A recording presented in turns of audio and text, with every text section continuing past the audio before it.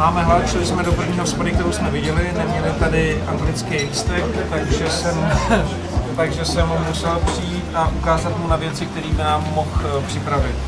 Takže první začneme čočkou bolívkou, a potom nám přinese nějaký velký bochní chleba, do kterého nasázel nějaký maso a peče to v tamhle A uvidíme, jestli to bude dobrý.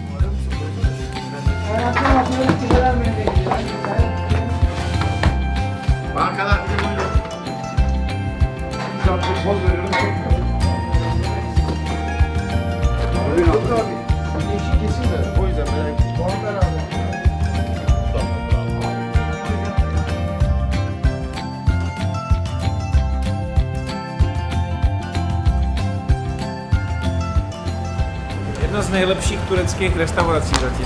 Fakt nám chutnalo. Snědli jsme asi trojitou porci.